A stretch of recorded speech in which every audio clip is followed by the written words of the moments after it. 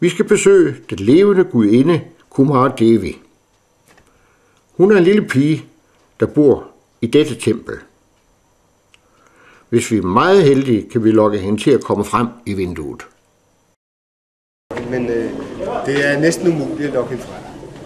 Og øh, hvis hun øh, lader sig lokke frem, så vil hun øh, øh, være oppe i det mindste vindue der. Og der sidder en, en, en sparelampe. Og så vil hun bare lige stå der i 4 sekunder. Hvor gammel er hun? Ja, altså hun bliver udvalgt, når hun er øh, 2-3 år. Og så, kan hun, øh, så fortsætter hun som Kumari, indtil hun får sin første menstruation. Men I lægge mærke til øh, de flotte udskæringer, der er herinde. Det er et gammelt hus. Det er fra det 16. århundrede. Det er godt nok blevet shinet lidt op her til. Men øh, selve øh, de her flotte træudskæringer, de er oprindelige. Der er tre malerkonger, og de konkurrerer simpelthen om at lave det flotteste døbersquare. Det her, det er Kathmandu døbersquare. Men øh, Ganesh har en lille mus, eller en rotte, som hedder Musika. Det er, det er en meget... Tænk, at den kan få lov at stå her.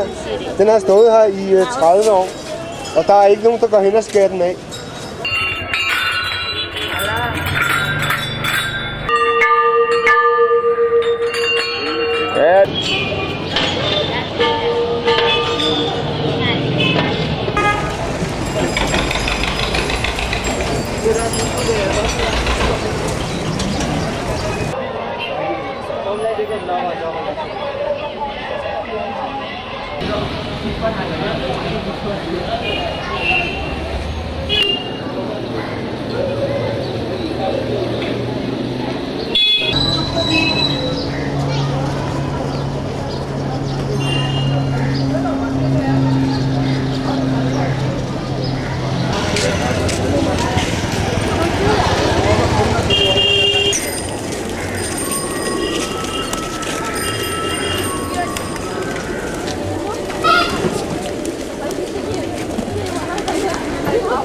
Den der sorte figur der, den hedder Bahirab.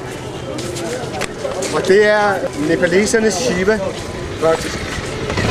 Og der er den omstændighed ved den, at øh, man, man beder til den, øh, ligesom man beder til Shiva. Jeg vil bare komme med en advarsel nu.